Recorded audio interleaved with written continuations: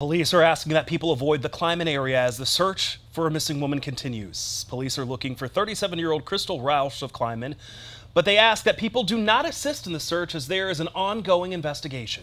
If anyone has any information related to the location of Crystal, they can call the Dodge County Sheriff's Office tip line at 920 386 4590.